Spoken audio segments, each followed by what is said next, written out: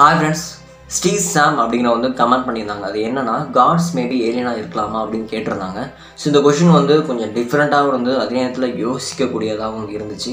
இந்த கொஷினுக்கு வந்து நான் வந்து மூணு நாள் ஆன்சர் தேடிக்கிட்டே இருந்தேன். ஒவ்வொரு கான்செப்ட்டுக்கும் நம்ம உள்ளே போகும்போது நமக்கு வந்து ஒரு புதுவிதமான குழப்பத்தை ஏற்படுத்துகிற மாதிரி இருந்துச்சு. ஸோ அதான் வந்து ஷேர் பண்ண போகிறேன் அப்புறம் வந்து இந்த வீடியோவில் எண்டில் வந்து நீங்கள் வந்து கடவுள் அப்படின்னா ஒரு கான்செப்ட் வச்சுருப்பீங்க. உங்கள் மனசில் ஒன்று வச்சுருப்பீங்களே ஸோ அது எல்லாத்தையும் வந்து ஒரு சுக்குநூறாக உடச்சி இன்னொரு புது கான்செப்ட் வந்து கொண்டு போகும் அப்படின்னு நான் நினைக்கிறேன். இந்த கடவுள் அப்படிங்கிற கான்செப்ட் தான் நம்ம ரெண்டாக பிரிச்சுக்கலாம். ஒன்று வந்து என்னென்னா கடவுளை நம்புறவங்க இன்னொன்று வந்து கடவுளை நம்பாதவங்க. கடவுளை நம்புறவங்க பார்த்தோம் அப்படின்னா ஒவ்வொரு கடவுளுக்கும் ஏற்ற மாதிரி ஒவ்வொரு சமயங்களோ இல்லை மதங்களோ அமைச்சு அந்த கடவுளை கும்பிட்டு இருந்தாங்க. இந்த சமயங்கள் வந்து பார்த்தோம் அப்படின்னா அதாவது சைவமாக இருக்கலாம் சமணமாக இருக்கலாம் வைணவம் பௌத்தமடி ஒவ்வொரு கடவுளுக்கும் ஏற்ற மாதிரி இந்த சமயங்கள் வந்து உருவாகியிருக்கு. இந்த சமயங்கள் எல்லாமே கடவுளுக்காக உருவாக்கப்பட்டதா? இல்லை இந்த மனிதர்கள் தங்களுடைய தேவைக்காக இந்த சமயங்களை உருவாக்குனாங்களா? அப்படின்னு எனக்கு தெரியல. ஸோ இந்த அதாவது அவங்களுடைய எல்லை அவங்க முடிவுக்கு என்ன வராங்க அப்படின்னா வந்து இவங்க யாருமே வந்து கடவுள் வந்து நேரில் வந்து பார்த்ததா சில பேர் சொல்லியிருக்காங்க. இன்னும் சில பேர் வந்து கடவுள் வந்து யாரும் நேரில் வந்து பார்க்கல.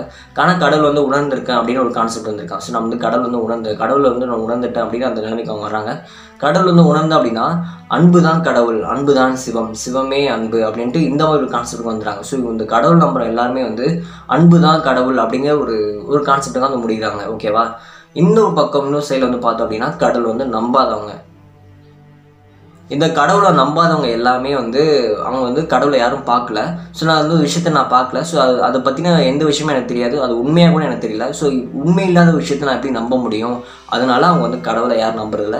இன்னும் என்ன அப்படின்னா இவங்க இந்த கடவுள் நம்புறாங்கல்ல. ஸோ இவங்க வந்து என்ன பண்ணுவாங்க அப்படின்னா சாமி வந்து ஆடுறது சாமிக்கு வந்து அபிஷேகம் பண்ணுறது அப்படின்னு பல மூடநம்பிக்கையிலேருந்து அவங்க வந்து ரொம்ப அடிமையிட்டாங்க இதனாலே இந்த கடவுளை நம்புறவங்களுக்கு கடவுளை நம்பாதவங்க மேலே செம்ம எரிச்சு செம்ம காண்டுன்னு வச்சுக்கோங்களேன். இன்னும் இந்த காண்டால் இவங்க வந்து கடவுளே வெறுத்துட்டாங்க. ஸோ கடவுள் சுத்தமாக உங்களுக்கு பிடிக்காது. கடவுள் அப்படி கான்செப்டே இவங்களுக்கு வந்து பிடிக்காது. ஸோ இவங்க வந்து கடவுள் யாரும் நம்பவே மாட்டாங்க. இப்போ நம்ம வந்து இந்த ஆன்மீகவாதி சைடும் போகாமல் நாத்திகவாதி சைடும் போகாமல் பொதுவாக கடவுள் அப்படிங்கிறவங்க எப்படி இருப்பாங்க எப்படி ஜென்ரல் நம்ம வந்து பார்ப்போம். ஸோ நான் வந்து டாப்பிக்கில் நம்மளோட டாபிக் என்னன்னா கடவுள் வந்து மேபி ஏலியனாக இருக்கலாம் அப்படின்னு நம்மளுக்கு ஒரு டாபிக் ஸோ இது ஒரு கொஷின் மாதிரி தான். இதுவும் வந்து உண்மையாக இருக்கலாம் இல்லாமல் கூட இருக்கலாம். ஓகேவா ஸோ இப்போ ஆரம்ப காலத்தில் பூமி அப்படிங்கிற ஒரு கான்செப்ட் வந்தோம்னா பூமி வந்து சூரியன்லேருந்து வந்து பிரிஞ்சு வரும்போது அது வந்து ரொம்ப வெப்பமாக இருந்திருக்கு. அதுக்கப்புறம் குளிர் வந்து அப்போ வந்து மழை இடி மின்னல் இதெல்லாம் பேஞ்சு ரொம்ப வருஷம் கழிச்சு பேஞ்சு ஏதாச்சும் ஒரு ஆஸ்ட்ராய்டு வந்து மோதி அந்த ஆஸ்ட்ராய்டு மூலமாக தான் பூமிக்கு வந்து உயிரினங்கள் வந்திருக்கலாம் அமினோ ஆசிட்ஸ்லாம் வந்திருக்கலாம் அப்படின்ட்டு சயின்ஸ் வந்து ஒரு கான்செப்ட் புதுசாக ஒரு கான்செப்ட்னு சொல்லுது. ஸோ இதன் மூலமாக தான் வந்து உயிரினங்கள் வந்திருக்கலாம் அப்படின்னு அவங்க சொல்கிறாங்க இந்த உயிரினங்கள் எல்லாமே ஆரம்ப காலத்தில் அதாவது ஆரம்ப காலத்தில் பார்த்தோம்னா ஒவ்வொரு ஸ்டேஜாக வந்து எவாலுவேஷன் ஆகி தான் பூமியில் வந்து உருவாகியிருக்கு. ஓகேவா இந்த எவாலுவேஷன்ஸ் எல்லாமே வந்து கிட்டத்தட்ட நடக்கிறதுக்கு ரொம்ப வருஷம் ஆயிருக்கு அப்படின்னு சொல்லலாம். அதாவது அப்போ இருக்க உயிரினங்களையும் இப்போ இருக்க உயிரினம் வந்து கம்பேர் பண்ணோம் அப்படின்னா கிட்டத்தட்ட தொண்ணூறு பர்சன்டேஜ் ஆஃப் உயிரினங்கள் வந்து அப்போ இருந்த உயிரினங்கள் எல்லாமே அழிஞ்சு போயிடுச்சு. இப்போ வெறும் டென் பர்சன்டேஜ் தான் நம்ம பூமியில் வந்து உயிரினங்கள் இருக்குது அப்படின்னு வந்து சயின்ஸ் வந்து சொல்கிறாங்க ஓகேவா இந்த கான்செப்டை வந்து எல்லாமே வந்து ஒரு ப ஒரு மனிதன் வச்சுக்கோங்களேன். அந்த மனிதன் வந்து உருவாகிறதுக்கு அதாவது சார்லஸ் டாமிங் அவர்னு சொல்கிறோம் அப்படின்னா குரங்குலேருந்து மனுஷன் வந்திருக்காங்க அப்படின்னு சொல்கிறாங்க அது நீயாண்டது ஹோமியா இருக்கா சோமியா சபின்ஸ் இப்படி வரத்துக்கே கிட்டத்தட்ட லட்சக்கணக்கான வருஷம் ஹியூமனோட எவாலுஷனே இவ்வளோ வருஷங்கள் ஏற்பட்டிருக்கு. ஸோ இந்த கான்செப்ட் வந்து பார்க்க அப்படின்னா இந்த மனிதர்கள் ஆரம்பத்துலேருந்து இந்த சிக்ஸ்த்து சென்ஸ் சொல்லுவாங்கள்ல ஸோ ஒவ்வொரு ஸ்டேஜிலும் மனிதனுக்கு அது அறிவு அப்படிங்கிற ஒரு ஒன்று வரும்போது அவன் வந்து அவன் வாழ்ந்த இடத்துல வந்து அவன் அவன் வாழ்ந்த இடத்துல இப்படியா இருந்திருக்கும் அப்படின்ட்டு முதல் முதல்ல அவன் வந்து ஓவியமாக வரைந்து அந்த அவன் வாழ்ந்த இடங்களில் அந்த குகையில் வந்து ஓவியமாக வரைகிறான். இந்த ஓவியங்கள் எல்லாம் வந்து பார்த்தோம் அப்படின்னா சாதாரண மனிதர்கள் வந்து எப்படி இருந்திருப்பாங்களோ அந்த அந்த விரல்களாக இருக்கட்டும் ஸோ எல்லாமே அவங்க வந்து அவங்க அவங்க கூட இருந்த மாடு ஆடு இந்த மாதிரி எல்லா விலங்குகளும் அந்த குதிரை கூட ரீப்ரசன்ட் பண்ணுறாங்க அவங்க வச்சிருந்த ஆயுதங்களை கூட அவங்க வந்து வரைஞ்சிக்கிற வரைய வரைகிறாங்க இந்த குகை ஓவியங்களை நம்ம வந்து பார்க்கும்போது சில குகை ஓவியங்கள் வந்து சற்று கொஞ்சம் வந்து வித்தியாசமாக இருக்குது அதாவது பார்த்தோம் அப்படின்னா நம்ம வந்து இப்போ வந்து ஸ்பேஸ் ஷிப் அதாவது பறக்கும் தட்டு அப்படின்னு சொல்கிறாங்களா சில இடத்துல வந்து அந்த பறக்கும் தட்டு மாதிரி சில ஓவியங்கள் இருக்குது மனிதர்கள் வந்து பார்க்கறதுக்கு வித்தியாசமாக இருக்காங்க. ஸோ இதெல்லாம் வந்து என்ன பார்க்கலாம் இது வந்து ஒரு ஏலியன் கான்செப்ட் வந்து கொண்டு கொண்டு வருது அப்படின்னு நம்ம சொல்லலாம். இந்த குகை ஓவியங்களாக இருக்கலாம். ஸோ இதெல்லாம் வந்து ஒரு இடத்துல இல்லை நிறைய இடங்கள்ல இருக்குது இதனாலேயே இந்த ஓவியங்கள் ஓகே ஏலியன்ஸ் இருக்காங்க அப்படிங்கிற நம்புகிற சில பேர் வந்து இருக்காங்க ஓகேவா இந்த ஓகே இந்த கான்செப்ட் வந்து உண்மையாக இருக்கலாம். அதே நேரத்தில் சில பேர் வந்து ஒரு சின்ன குழந்தையோ இல்லை யாரோ ஆர்வ கோளாறில் கிறுக்கி வச்சிருக்கலாம். ஸோ அந்த கிறுக்கல்கள் கூட ஒரு ஓவியமாக ஒரு மேபி இருக்கலாம்ல. ஸோ அது வந்து ஏலியன்ஸுன்னு நம்ம வந்து நம்பலாம். ஆனால் அந்த காலத்தில் நம்ம யோசிச்சு அந்த காலத்தில் யாரும் வந்து போய் பார்த்ததும் இல்லை. மேபி அவங்க கிறுக்கி கூட வச்சிருக்கலாம். அது கூட நம்ம வந்து ஏலியன்ஸ் நம்ம வந்து சொல்கிறோம் எதுவே நம்ம வந்து இந்த இடம் நிறைய ஆதாரங்கள் வந்து இருக்குது இந்த ஆதாரங்கள் எல்லாமே வந்து உண்மையினும் சொல்ல முடியல நான் நான் கெட்டதுன்னு சொல்ல முடியல. ஸோ ரொம்ப ஒரு கன்ஃபியூஸ்க்கு வந்து ரொம்ப உள்ளாக்கு. இப்படிலாம் இருக்கும்போது நான் வந்து யூடியூப் ஏதாச்சும் ஒரு வீடியோ பார்த்தேன். ஹூ இஸ் சிவன் அப்படிங்கிற வீடியோ ஸோ அது வந்து சிவன் யார் அப்படின்றதுக்காக ஒரு ஹிஸ்ட்ரியை ரிவீல் பண்ணுற மாதிரி வீடியோ ஸோ நானும் ஓகே இது வந்து என்ன ஒரு புது வித கான்செப்ட் கொடுக்கும் அப்படின்னு நான் உள்ளே போய் பார்த்தேன்.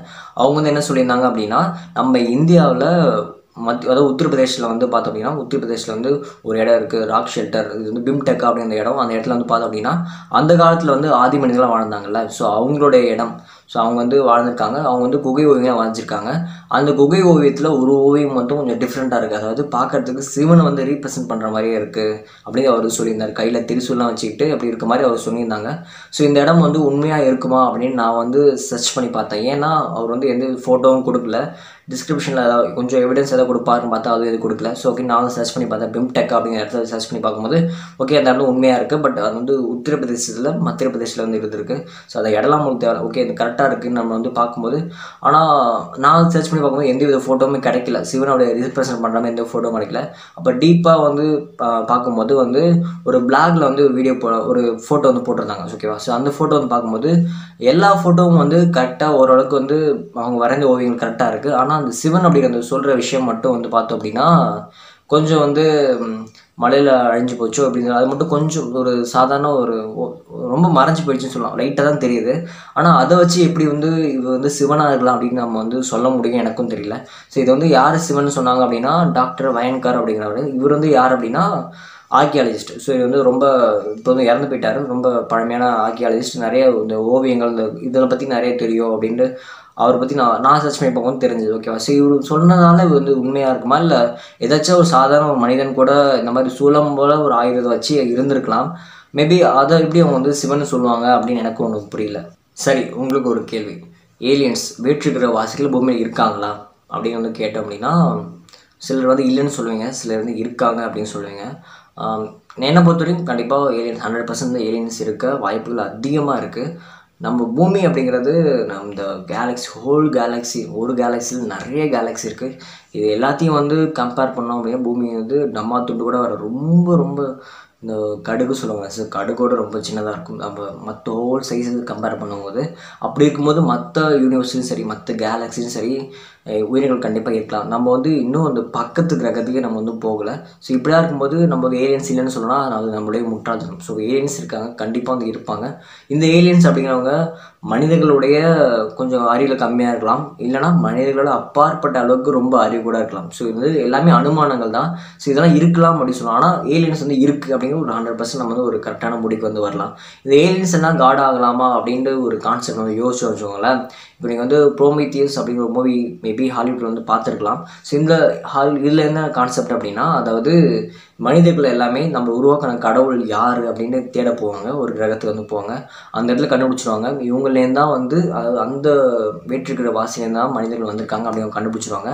ஆனால் அவங்க வந்து என்ன பண்ணுவாங்க அப்படின்னா அவங்க ஒரு மனிதர்கள் வந்து கொள்கிற மாதிரி திட்டம் திட்டத்தை வந்து கொண்டு வருவாங்க. அதாவது அங்கே இருக்க மனிதர்கள் எல்லாமே மனிதர்கள் வந்து கொல்ல போகிறாங்க அப்படி ஒரு கான்செப்ட்டுக்கு வருவாங்க. அப்புறம் அவங்களாம் அழிச்சு இந்த மாதிரி ஒரு படம் வரும். ஸோ அவங்களுடைய தேடல் பயணம் என்னென்னா மனிதர்களை வந்து வேற்றிருக்கிற வாசி உருவாக்கியிருக்காங்க அப்படின்னு ஒரு ஒரு புதுவித கான்செப்டாக இருக்கும். சில கான்செப்ட் தான். ஸோ நம்ம வந்து ஏலியன்ஸ் நம்ம வந்து வந்திருக்கோம் அப்படின்னா அப்படி வந்திருந்தோம் அப்படின்னா நம்ம வந்து இப்போது நம்மளுக்கு மேலே ஒரு சக்தி இருந்தா அப்படி அதாவது இப்போது சூப்பர் ஹீரோ சொல்லுவாங்க. சூப்பர் ஹீரோனா ஒரு சாதாரண மனிதன் மனிதனுக்கு இல்லாமல் அவங்க எக்ஸ்ட்ராடி பவர் இருந்ததுன்னா நம்ம வந்து அவங்க வந்து சில பேர் என்ன என்ன நினைப்பாங்க? இப்போ ஜென்ரேஷன் பார்த்தீங்கன்னா சூப்பர் ஹீரோன்னு சொல்லுவாங்க. இன்னும் சில பேர் என்ன சொல்லலாம் அவங்க தான் கடவுள் அப்படின்னு கையெடுத்து கும்பிடுவாங்க. ஸோ அது வந்து இந்த கடவுள் அப்படின்னு கான்செப்ட் நம்மளுடைய மனநிலையை பொறுத்து தான் இந்த வீடியோ பார்த்துட்டு இருக்க நீங்கள் வந்து ஒரு இமேஜினேஷன் ஒரு கற்பனை வந்து பண்ணணும். இந்த கற்பனை என்ன அப்படின்னா நம்ம பூமியிலேருந்து இது வரைக்கும் யாரும் வந்து மாஸ்க் கிரகத்துக்கு வந்து யாரும் இது வரைக்கும் போனதில்லை. இன்கேஸ் ஆஃப் நீங்கள் வந்து நம்ம பூமியிலேருந்து மார்ஸ் கிரகத்தை நீங்கள் மட்டும் தான் போகிறீங்கன்னு வச்சுக்கோங்களேன் ஸோ நீங்கள் கூடவே ஆளுகளை சேர்த்துக்கோங்க. நீங்கள் மட்டும் போகிறீங்க அங்கே போயிட்டு வந்து என்ன நடக்குது அப்படின்னா உங்களுக்கு வந்து டிஎன்ஏ அனலைசிஸ் ஜீன் எடிட்டிங் இது எல்லாமே உங்களுக்கு கற்றுப்படி ஸோ நீங்கள் வந்து என்ன பண்ணுறீங்க அப்படின்னா உங்களுடைய செல்ஸ்லேருந்து நீங்கள் வந்து ஒரு புதிய உயிரினத்தம் அது வந்து மனிதன் மாதிரி இருக்கலாம். ஸோ இன்கேஸ் ஆஃப் ஒரு உயிரினம் வந்து ஒரு கிரியேட் பண்ணுறீங்க அந்த உயிரினம் இருக்கலாம் அந்த உயிரினம் வந்து கிரியேட் பண்ணி அது வந்து ஒரு இனமாகவே அந்த இடத்துல உருவாகிடுது. இந்த உயிரினம் வந்து உங் நம்மளுடைய மனிதர் உங்கள் லெவலுக்கு வந்து அறிவு இருக்கலாம். அதே நேரத்தில் உங்களோட அறிவு கம்மியாக கூட இருக்கலாம். இன்னும் என்னென்னா உங்களை உங்களை விட அறிவுக்கு மேலே இருக்கலாம். ஸோ இந்த மூணு கான்செப்ட் இருக்குது ஸோ உங்களுக்கு உங்களுக்கு நேராக அறிவு இருந்தாலும் பிரச்சனை தான். உங்களை விட அறிவு அதிகமாக தான் வந்து பிரச்சனை தான். ஸோ ஆனால் அந்த இடத்துல வந்து உயிரினங்கள் உங்களோட உயிரினங்கள் வந்து எல்லாமே அறிவுக்கு கீழே தான் இருக்குது உங்களோட அறிவு உங்களுக்கு சிக்ஸ்த் சென்ஸாக உங்களுக்கு ஃபிஃப்த் சென்ஸ் அதோட தான் இருக்குன்னு வச்சுக்கோங்களேன். ஸோ அந்த உயிரினங்களுக்கு எல்லாம் பார்த்தோம் அப்படின்னா நீங்கள் தான் கடவுள்.